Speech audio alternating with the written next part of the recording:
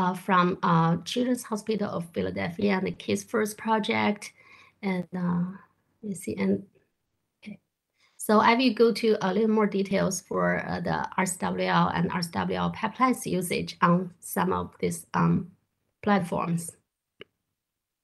So um, with all these advantages of using workflow languages, there are some intrinsic challenges. First, uh, the workflow language is um, a command line tool itself. So there's a steep learning curve for researchers, even for skilled data analysts. And also the workflow language uh, mainly deal with the command line tools that are involved in the pre-processing steps. So it has a poor integration with the downstream statistical analysis tools, such as R and Bioconductor. So this can cause some reproducibility issues from the modeling step.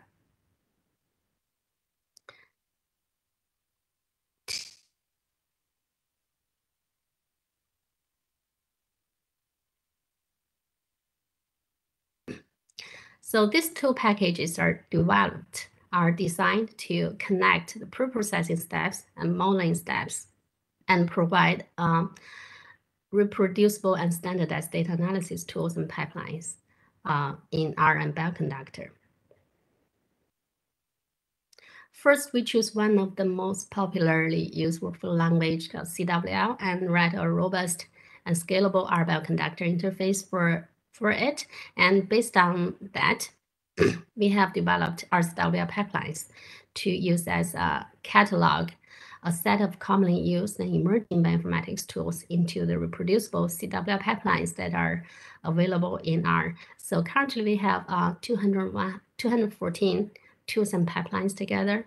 Uh, so this figure shows the basic usage of these two packages and the color blocks are the function names. Basically, uh, user starts from the Rcwl pipelines. First, they need to search a specific tool or pipeline that of interest and then load them into our, our programming environments um, to be used. And one can also uh, write their own set of tools using Rcwl package, uh, build a tool or build a pipeline, and uh, all this and contribute to the Rcwl pipelines and to benefit the other researchers. And these existing um, pipelines and tools are customizable with some um, utility functions, which I will show you in the lab demo later. So they're uh, easy to customize by changing uh, like a Docker version for a specific uh, software for changing the arguments for a specific tool. And then uh, after that, we are ready to uh, run the tool or pipeline uh, within our environment, um, which combines the both the pre-processing tools and also the um, data analysis tools um, using R functions. So here I will show you uh, some comparisons of using different ways of doing the data analysis. First, the, the traditional way uh, using um, a writing bash scripts using the command line tools in command uh, command line interface writing a bash scripts. So the first step you need to search and download the software and uh, compile it uh, based on your computing environment. So there can be issues coming from the software dependency and uh, conflicts, and uh, you need to check frequently for the software updates. So second step, you will write uh, on-premise bash scripts where you uh, define where you used a, uh, specific tools and define inputs and outputs between different steps. So there can be reproducibility, uh, reproducibility issues. For example, um, you need to check carefully for the software tool versions uh, because different versions can lead to different results.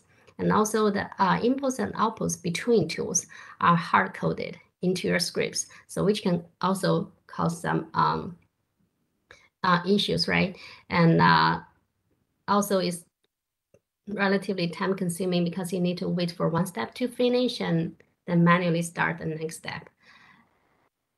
If you work on uh, uh, high performance computing, you also need to write some uh, scripts, uh, write some scripts in your um, data analysis to um, for the work workload management configuration, such as different job scheduled systems, uh, and this has to be uh, written repeatedly, which is quite inefficient.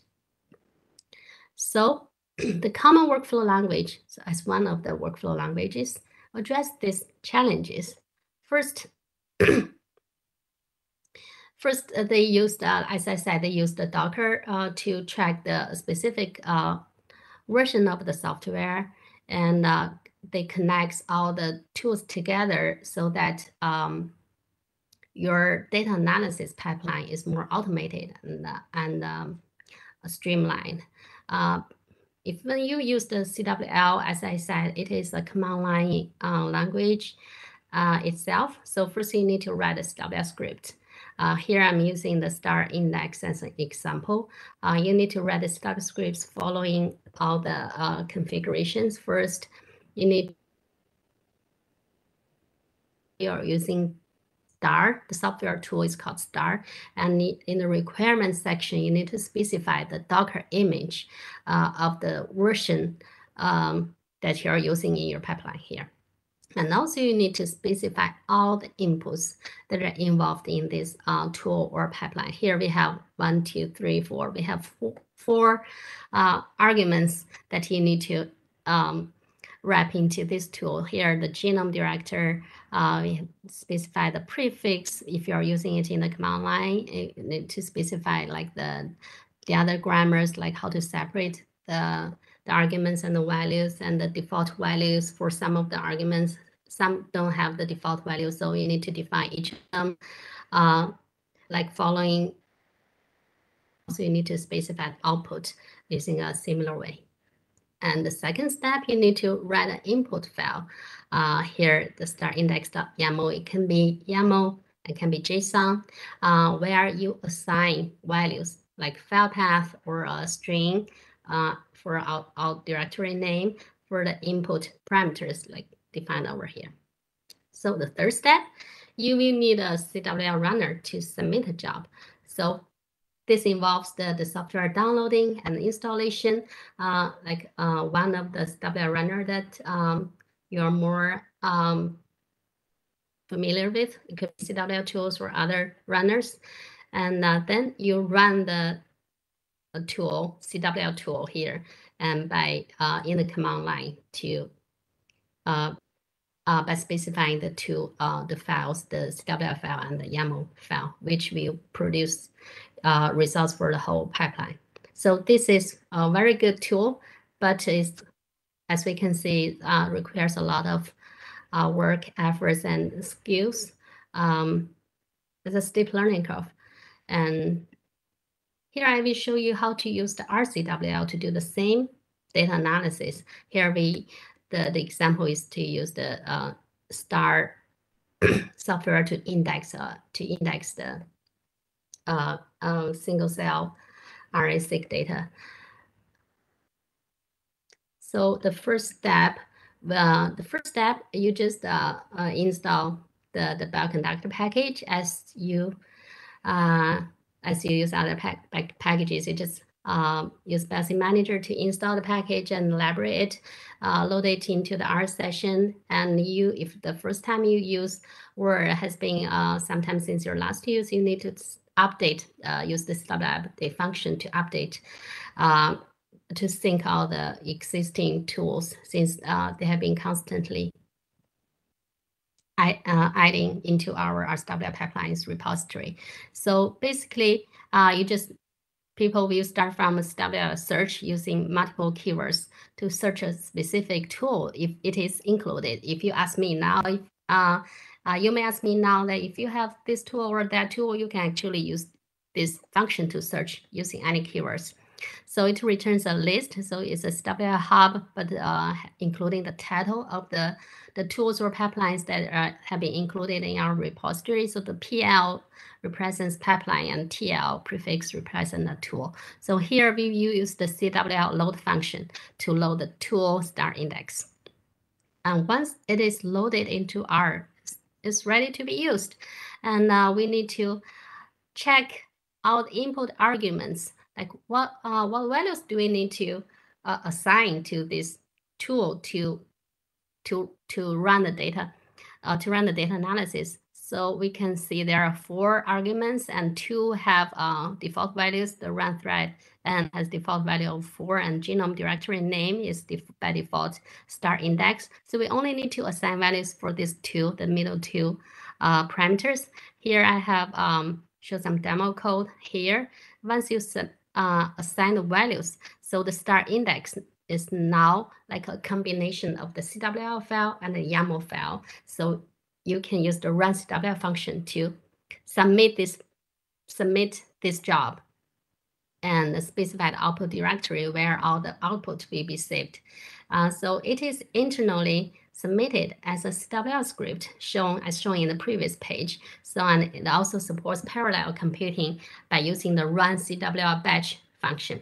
And it supports different Docker systems uh, in your uh, in your high, performance computing. Uh, okay, so next I will show you how to use uh, as a developer. If you don't find any tools included in the Rcwl pipelines, you can actually write your own set of tools. So here I will show you how to uh, your own set of tools as a developer. So it's quite simple. Uh, here I'm using the Star Solo as an example. So this is a tool you want to wrap. First, you need to specify uh, the inputs. So there are two inputs. You need to specify them as the input parameters, and there are two outputs you want you want the you want this tool to output. You need to define them as the output um, output parameters, and then you need to define the command line tool or our our, our package. Um, so this is a command line tool, but it can also wrap R package or function, and then you can have a CWL tool in R. So this is a tool. You can also define a pipeline. Here I'm using the Star Solo, which is a command line tool for, uh, for doing the alignment for the single cell RNA sequencing data and DropletUtils, which can be used to uh, read the, the output of the Star Solo into R as a single cell experiment. And it also has functionality to, do some uh, further filtering. so uh, once these tools are uh, define as the first step, you need to connect them into a workflow. So first you need to define the inputs for the whole workflow, not for a specific tool, but for the whole workflow, and also the outputs for the whole uh, workflow. So the outputs can be from uh, different steps. And then you define the tool as a, define each of the tool as a workflow step, and then you have you have a step-by workflow in R. So we have some basic functions where we can define the input, output, and a uh, tool and a workflow and the workflow step. We have some advanced functions to uh, change uh, for the customization of your uh, of your tools uh, next time when you use them with different settings.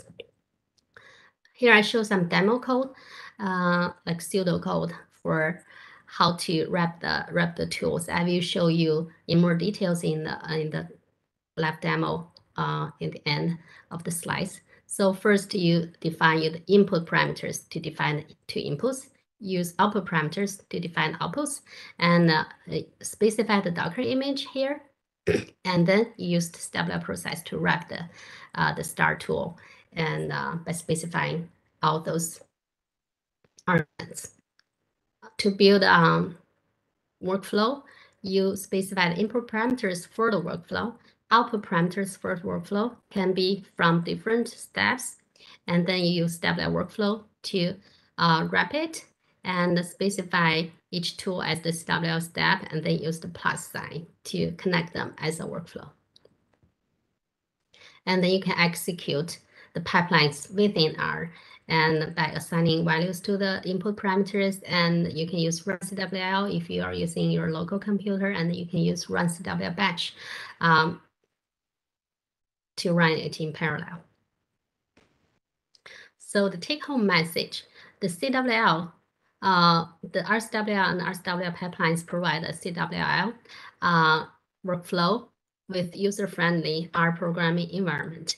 And it uses Docker, which is trackable and reusable. And uh, uh, they, they are compatible with common job schedulers such as SGE, Slurm, and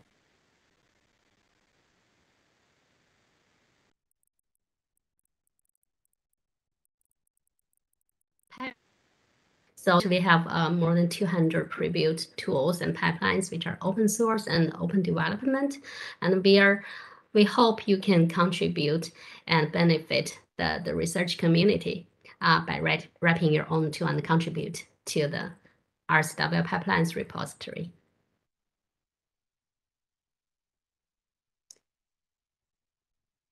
So we have uh, successfully used and applied RCWL on the cloud. Uh, we have this package called RCWL Cloud, which builds a bridge between RCWL and RCWL pipelines and cloud computing platforms such as CGC and Cavatica. Uh, so uh, we have done some high throughput DNA RNA data analysis on, on the NCI CGC platform. And we have also made this um, CWL workflow for RMS Turbo on the Cavatica platform, collaborating with Dr. Xin and we have also uh, for Anvil, it's uh, it doesn't have uh, native support for the CWL, but for only for WDL. Um, but we can use RCWL to take advantage of this platform uh, using the Jupyter Notebook. So we can submit uh, CWL scripts in the format of uh, RCWL tools. So I will go to the lab demo and uh, here's my contact information. I think I, I will share my um, slides later. So for the lab demo, you can find it uh, on GitHub. So under our workflow 2022 underscore RCWL underscore demo. So uh, it's under the vignette and the demo rcwl.rmd. So I will show you my terminal. so if the font can you see it clear? Should I uh, zoom in or? I hope I, I hope it's okay to see. So I will start uh, showing uh, you how to use them. Uh, have about 15 minutes, right? Okay.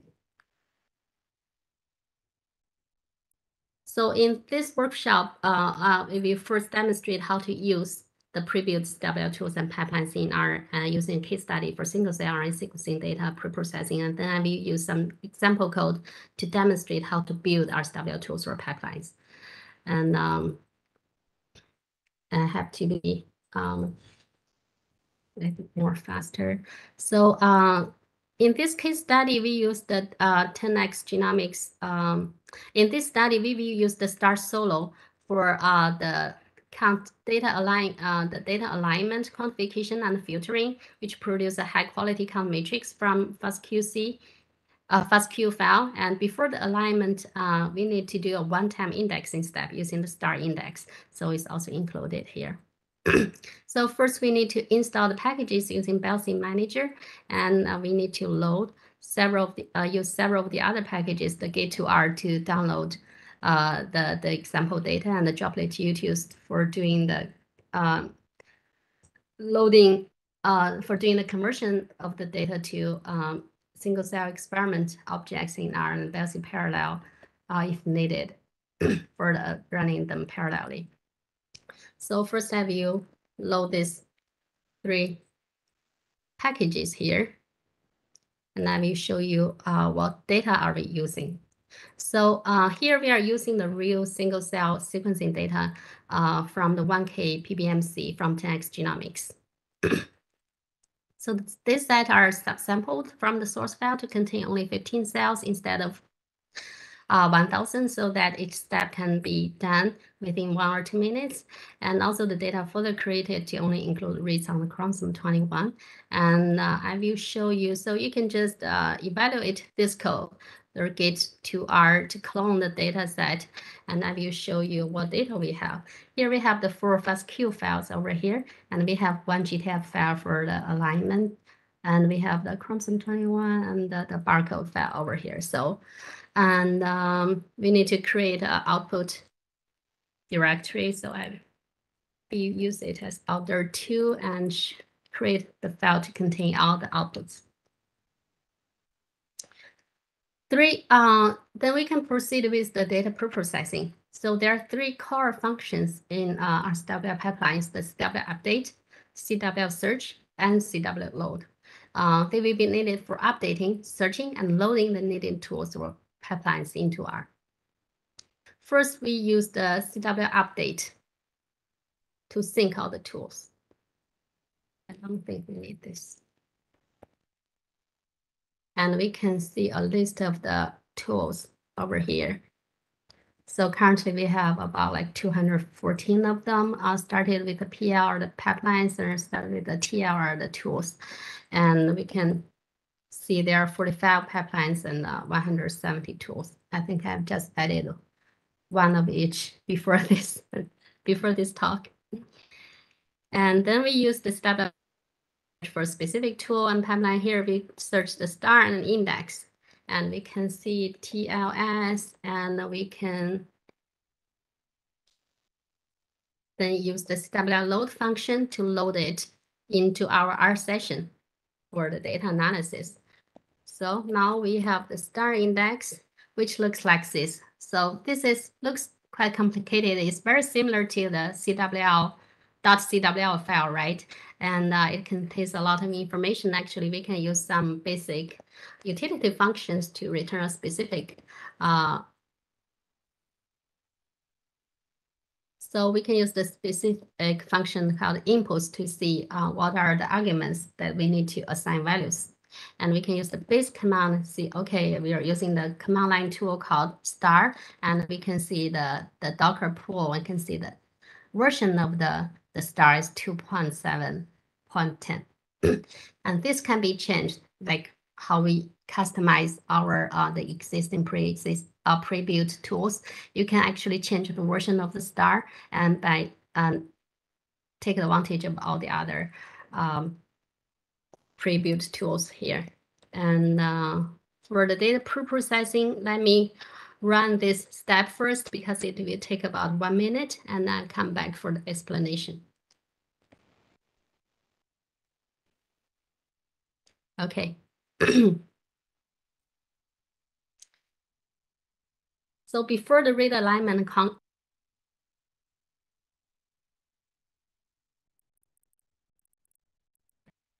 And then we can equivalently index the genome doing the same thing using RCWL tool of star index within R, which was internally passed as the CWL scripts uh, by only assigning values to the input parameters and uh, execute the CWL scripts. So here I have assigned values for two of the, the parameters like I showed in the slides. So we need to assign like the file path for the genome FASTA files and SJDB GTF files for the indexing. And then we use the run CWL function to submit the job once uh, and specify the output directory. Here I'm using the star index underscore output and uh, docker equals to true.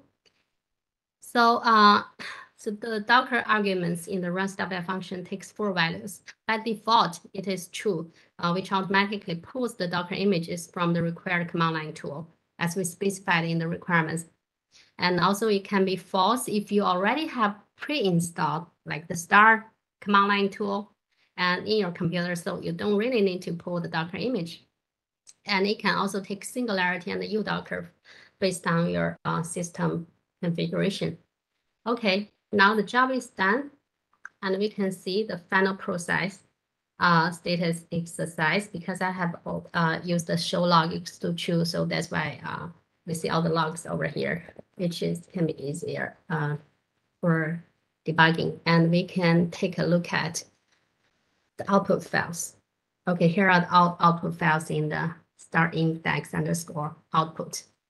Um, so these files are ready to be passed to the next RCWL tool called Star Solo.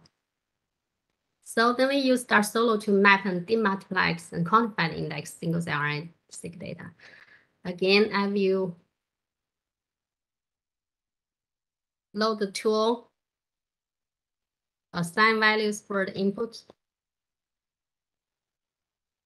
and run this first because it takes about I would say two minutes.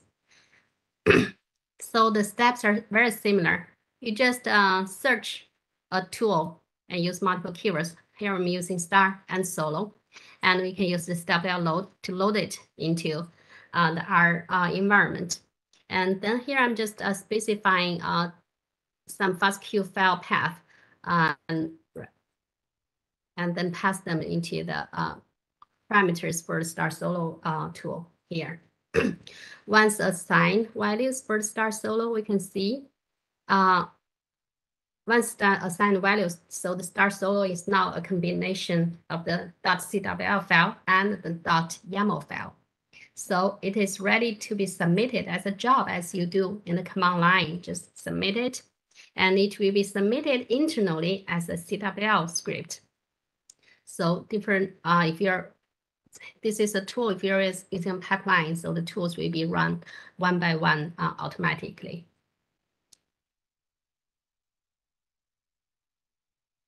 So uh, as it's running, let me take a look at. Let me take a look at the, the chat.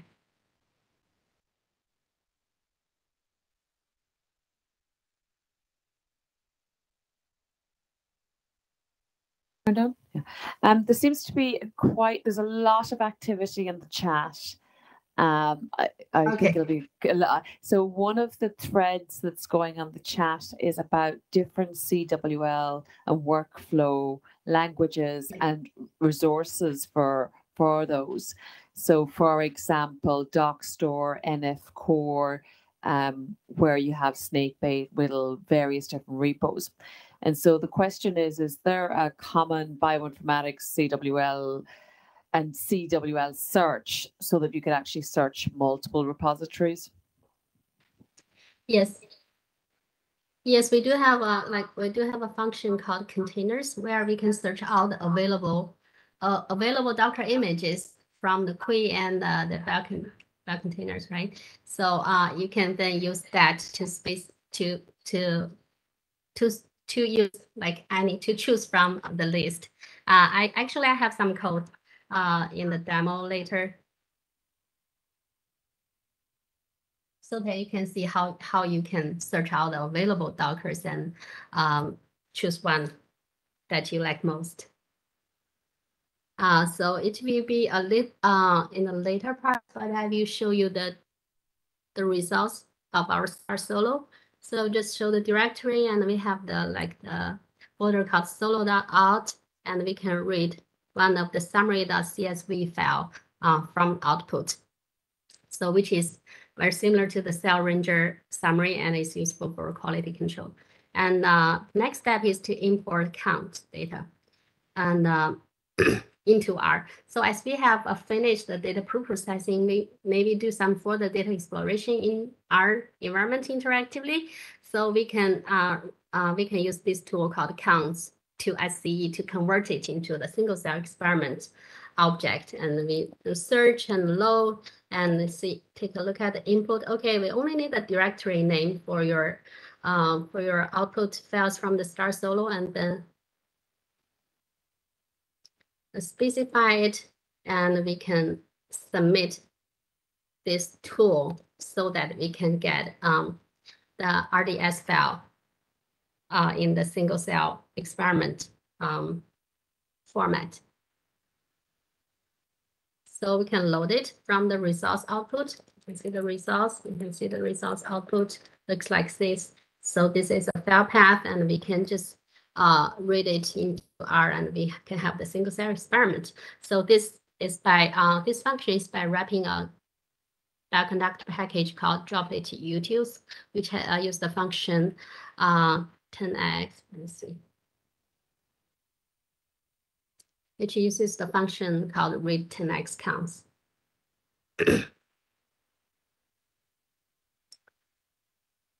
So please note that the integration of uh, the R packages are specific, are only supported in RCWL, but not in the original format of RCWL. So this is a unique feature of RCWL. And uh, then I, instead of running the tool separately, because we have run the star solo, we have to run the counts to SCE separately, step by step. Uh, instead of that, we can alternatively use the pipeline called PL underscore star solo to SCE. To run the, the star solo and the counts2sce all together. So this is a pipeline. You don't need to um, run them step by step. So we do the search and load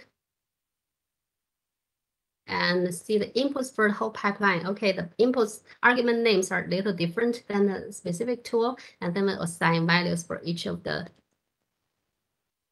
arguments, and then we can run the whole pipeline, which combines the STARsolo and the droplet uh, and the counts2sce from uh, from, from wrapping the Bioconductor package DropletUtils. So this will run the previous steps again. Uh, to generate all the results as we define. And uh, I will, I don't know, maybe I'll just uh, pause this and show you the codes. So as you just asked, we tools or pipelines. So, so, so that uh, have the STARsolo, which is the SW here can check the version and we can check the base command. We can check the requirements. Here it shows the Docker image from query, right? And we can also see uh, requirements of a, uh, a specific step from a from a pipeline. So this is the pipeline. The one step is the STARsolo. We can see the requirements here. And you can see the arguments, which are the hidden uh, arguments that are not included in, in our tool, which are uh, the default values. You can also make changes to these arguments. You can see the inputs as I just showed you. So for example, we can change the Docker containers. Here I have uh, the Rcwl have this function called search, cont search container. So we can see there's a whole list of different versions, uh, different versions of the star and from different resources. You can see args search containers. So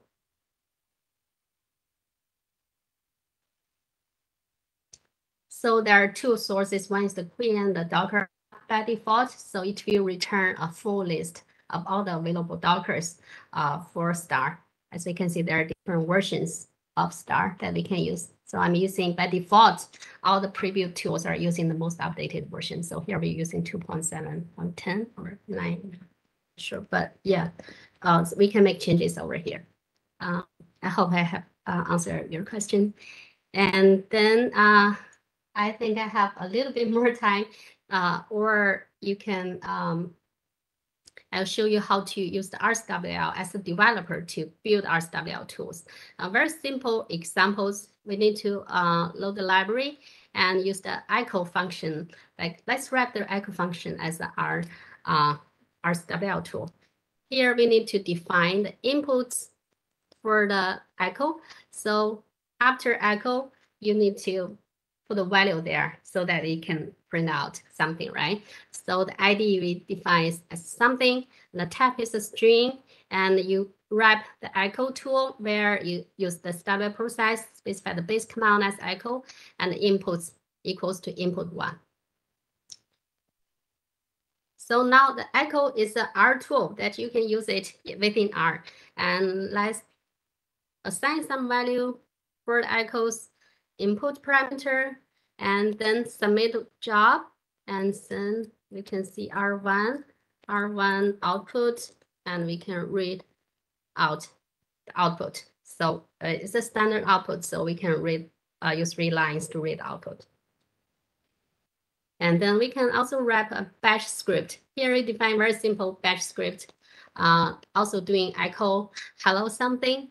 And then for the script, we can uh, define the input parameter, same as the, the previous one example. And we need to require shell scripts for the uh, for this script we have just defined. And we define another tool called echo underscore b as a stable process where uses the base command and shell script and the requirements uh, we have defined and the input parameter. So this is an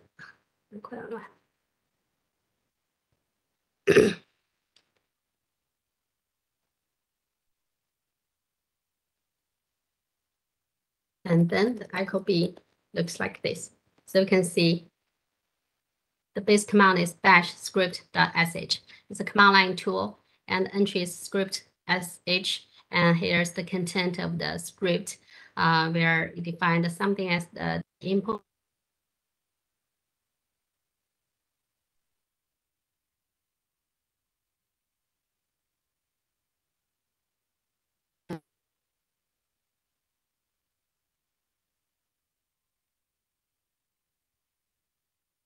our fun function as echo and define the input parameter, wrap uh, CWL process, and assign some value for the, the input uh, parameter and run the job. And R3, you can see the R3 output. So after wrapping the R function, we can also do the same thing as um, wrap, we can wrap all of this into our tool to incorporate into your whole uh, pipeline as one step to your pipeline. so there are some extension materials that where you can submit parallel job uh, using the uh, based on BiocParallel, which uh, you need to define some batch uh, parameters and uh, use the run WL batch I think this will be more commonly, more uh, usually used if you're doing a big data than the rest um, CWL. And you can check the output. Yeah, I think that's all the information. I'm, I'm sorry if I went too fast. And uh, I'll, I'll go back to my uh, slides to show my uh, contact information. So please uh, feel free to contact me using my email or other ways and you're welcome to contribute your tools and pipelines. Thank you.